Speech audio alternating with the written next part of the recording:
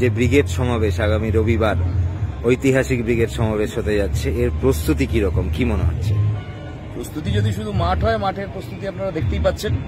এই মঞ্চ প্রায় রেডি এই পেছনে যা আমাদের যা প্রাথমিক প্রস্তুতির কাজ চলছে, ওদিকে কমরেডরা আমরা যাব ওদিকে, দেখাবো আপনাদেরকে। ওদিকেও কমরেডরা কাজকর্ম করছেন, মাঠ প্রায় সেজে উঠেছে। ফিনিশিং টাচ যাকে বলে, সেটা দেওয়া বাকি আছে। আমাদের মাঠের ওই উত্তর প্রান্তে ওখানে বাইরের জেলা থেকে যে কমরেডরা আসবেন দূর দূরান্ত থেকে, তারা থাকবেন আগামীকাল থেকেই। সেটাও একটা অ্যারেঞ্জমেন্ট আমরা করছি, হয়ে যাবে হয়ে যাবে। এছাড়া হচ্ছে কলকাতার বিভিন্ন প্রান্তে ক্যাম্প হচ্ছে। হাওড়া স্টেশনে হচ্ছে, সর্বোপরি আজকে শিয়ালদা স্টেশনেও হচ্ছে।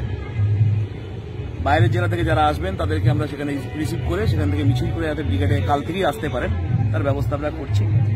কলকাতার প্রায় সর্বত্র, প্রায় না, সর্বত্রই প্রতিটা অঞ্চলেই মানুষ বাড়ি বাড়ি গিয়ে রুটি তরকারি সংগ্রহ করছেন তৈরি করছেন সেটাও কালকে সন্ধ্যের বেলার পর থেকে বা বিকেলের পর থেকে আরও ভালো করে বললে মাঠে চলে আসবে।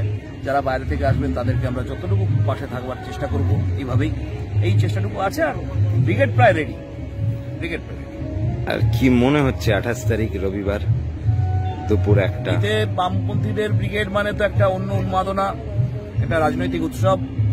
সে তো হবেই। লড়াই, জেদ, শপথ, সবকিছুই হবে। তার সাথে এবার আরও অনেকে যুক্ত হয়েছেন, অসংখ্য মানুষ যুক্ত হয়েছেন।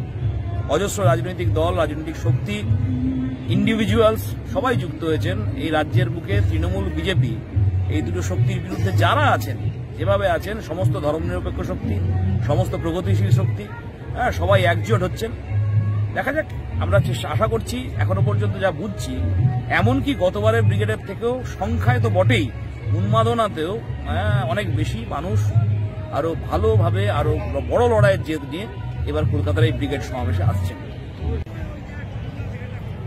এই আমাদের কমরেডরা কলকাতার বিভিন্ন প্রান্ত থেকে আজকের দুপুর থেকেই ব্রিগেড সাজানোর কাজ শুরু করেছেন চেন ফ্ল্যাগের কাজ চলছে এখানে।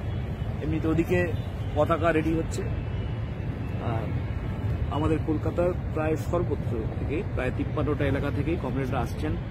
আজ দুপুর থেকে আজ সারা রাত কাল সারা দিন কাল সারা রাত। এই গোটা ব্রিগেড প্যারেড ময়দান এবং সংলগ্ন কলকাতার এই অঞ্চল তারা সাজিয়ে তুলবেন যাতে করে গোটা রাজ্যের দেশের মানুষ আঠাশ তারিখ ব্রিগেড সমাবেশে এই ব্রিগেড একটা অন্যভাবে দেখতে পান। সেই চেষ্টা আমাদের কমরেডরাই করছেন বাইরের কেউ করেন না কোনোদিনই করেন না। আমাদের কমরেডরাই করছে- করে যাচ্ছেন করবেন এবং করছেনও। এই কাজটা চলছে।